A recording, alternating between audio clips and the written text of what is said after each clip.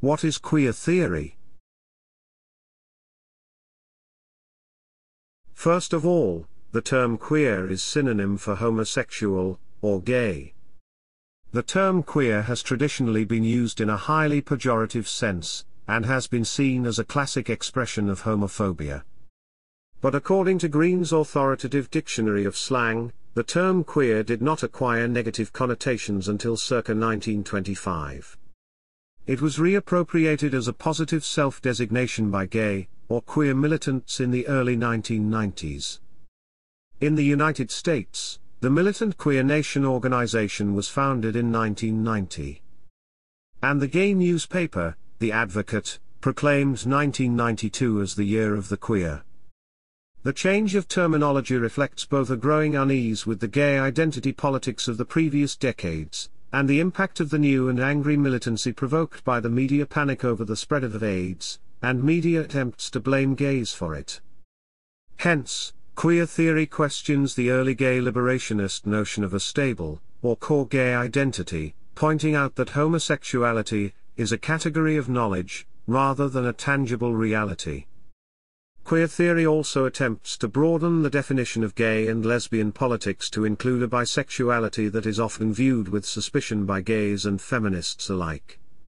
It is important to note that queer theory is largely a product of the 1990s, and has been influential in literary studies, post-colonial theory, and some areas of sociology. A number of influences can be detected, but the starting point for most queer theory is Michel Foucault's thesis about regimes of sexuality, and the epistemological shift brought about by the emergence of the category of the homosexual, when a taxonomy of acts, such as the remarkably vague notion of sodomy, was replaced by a typology of sexual identities. One of the key texts in the development of queer theory describes those theses as axiomatic. Jacques Derrida's deconstruction is frequently evoked in order to demonstrate the instability of binary oppositions, such as male, female, and hetero, homosexuality, as are Judith Butler's theses on gender as performative. In this context, masculinity can be demonstrated to be an unstable cluster of fears about effeminacy, and repressed homosexual, or homosocial desires, rather than the simple opposite of femininity. There is, some, a considerable overlap between queer theory, new historicism, cultural materialism, and the theory of subcultures, and it is argued that it is part of a more general defense of minority cultures. In literary terms, the most important fields for queer theory are the Renaissance and early modern periods.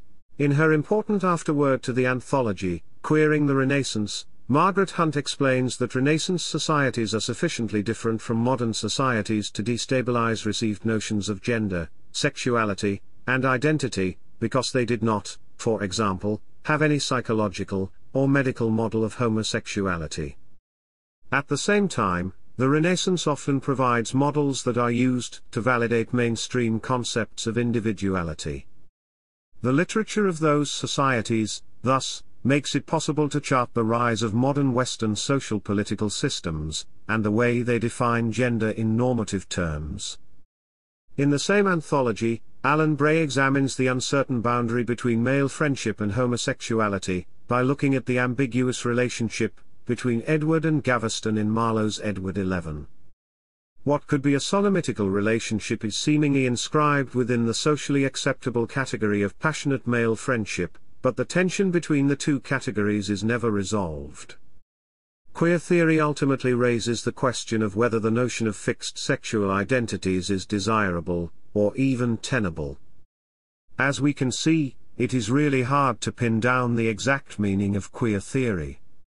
But some of the key concepts that help us identify whether one is leaning toward this theory is the idea that all sexual behaviors, and all concepts that link sexual behaviors to sexual identities, as well as all categories of normative and deviant sexualities, are social constructs.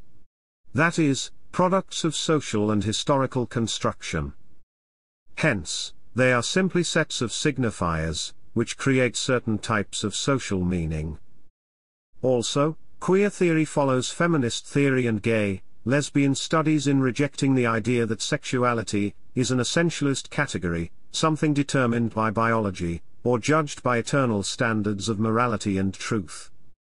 Hence, for queer theorists, sexuality is a complex array of social codes and forces, forms of individual activity, and institutional power, which interact to shape the ideas of what is normative and what is deviant at any particular moment, and which then operate under the rubric of what is natural, essential, biological, or God given.